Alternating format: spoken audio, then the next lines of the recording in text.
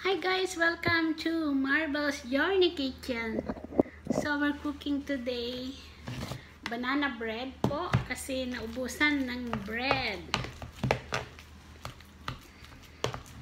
So sorry kasi hindi ako nag-edit ng video. Ito talaga yung action dito sa kusina ko. So tatlong uh, big bananas po, malalaki po yung banana dito. Yan. I-smash lang natin. Yan po.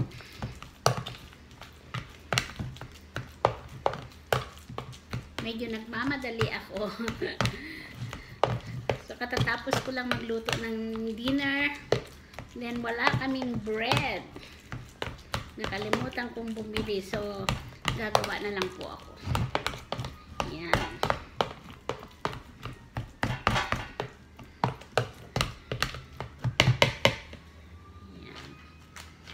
So, po, 6 uh, uh, six cups of flour. Ito.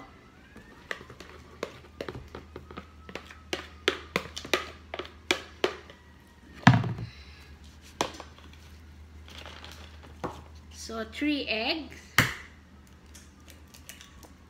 Madali lang po itong gawin, guys.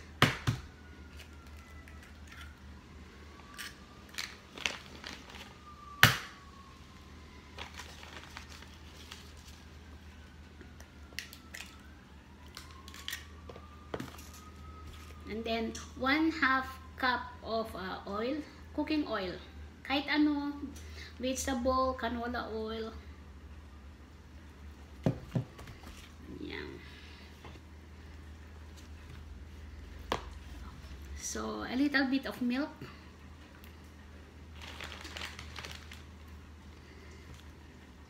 So, hindi ko tayo maglalagay ng tubig.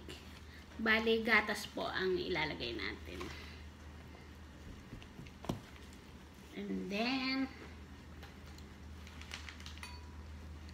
so, 2 tablespoon of uh, baking powder, guys. Yan.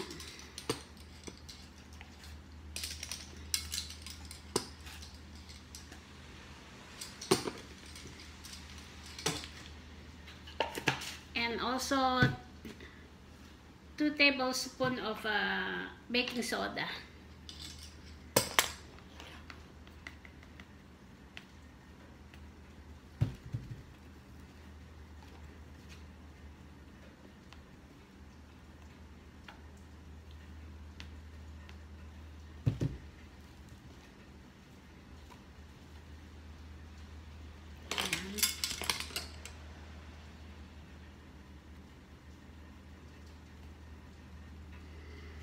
Yan po.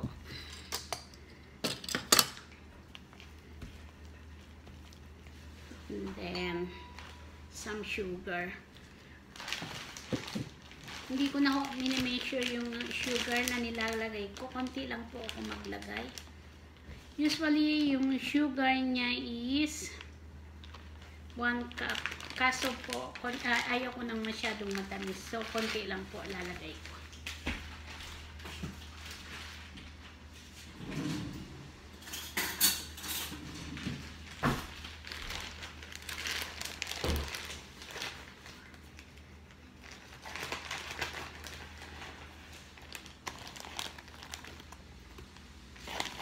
Brown sugar po ang nilagay ko.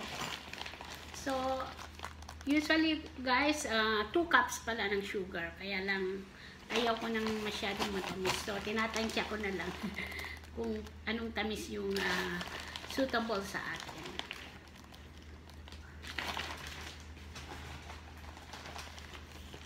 Ayan. Siguro 1 cup lang to.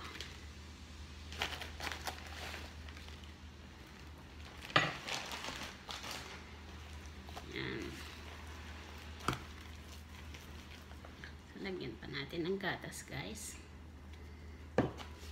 Instead of uh, water milk po yung nilalagay ko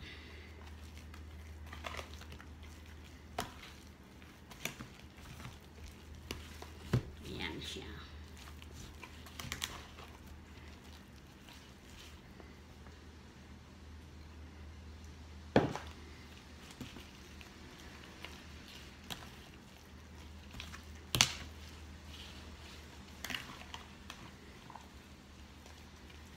Usually guys, ah, naglalagay ako ng ah, sour cream kaso naubusan ako ng sour cream.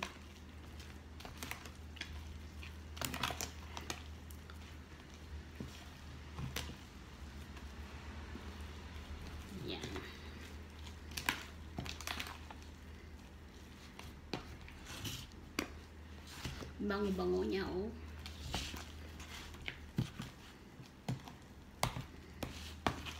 Medyo maulan ngayon guys. Sawa yung oven. Preheat na natin guys. Ayan. Tihit na natin yung oven na 350 degrees po.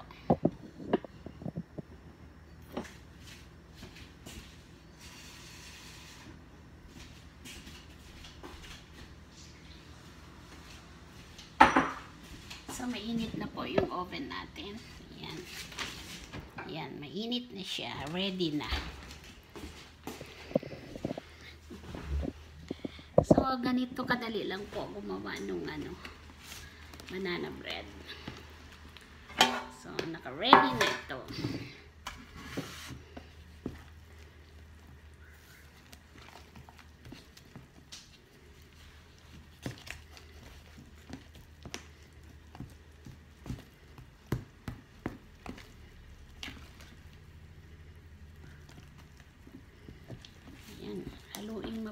Lang para matunaw yung mga nasa ilalim. Guys, so may breakfast na kami bukas na banana bread. Mayroon pa kaming babaunin. Ayan, dun sa loob. Hmm. Hmm. Ayan, ang dali lang gumawa guys. Oh. So, uh, harina lang tsaka itlog.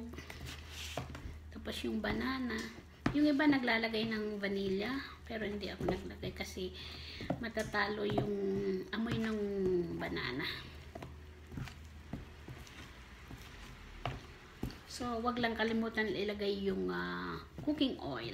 Either vegetable or canola oil. Huwag kang maglalagay ng yung olive oil kasi masyadong matapang yung ano, olive oil. Ayan. Ayan guys, ito yung lalagyan ko para ready na. Ayan. Lalagay ko na guys. Lalagay na natin.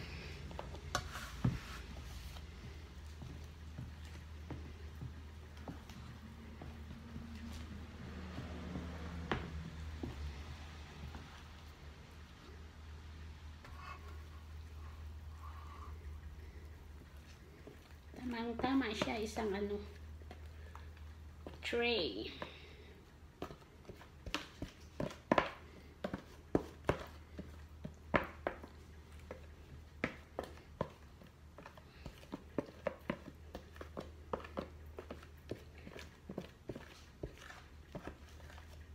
Nakaset na sa 350 degree yung oven natin guys. Yan. Wala pang 30 minutes i-prepare yung ating banana bread. Laging nga ganyan. Para ano. Yan. Going to the oven. Yan po. Ilalagay na natin sa oven.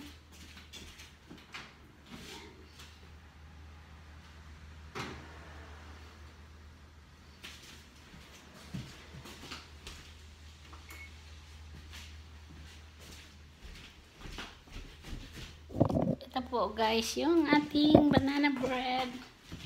Ayan siya. Ayan. 350 degrees. Ayun. Kukuk natin mga 45 minutes guys. Okay guys. Malapit nang maluto. Okay, luto na ata yung ating banana bread. Ayun siya. Yun. Luto na. Okay. Yan po siya. Yan. Meron na tayong bread bukas. Guys. Yan, konting diskarte lang guys. Ayan. Ating banana bread.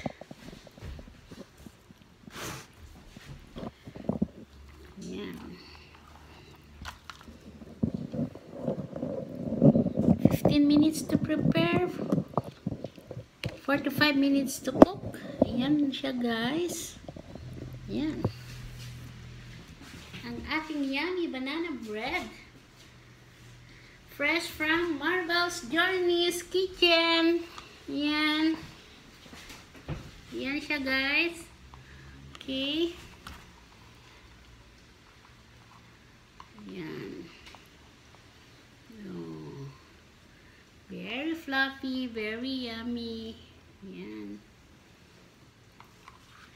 Yan ang banana bread ni Journey.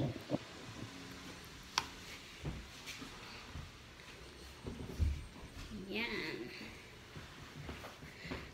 Masarap sa kape bukas. Yan. Yan. Yan po siya guys. Yan.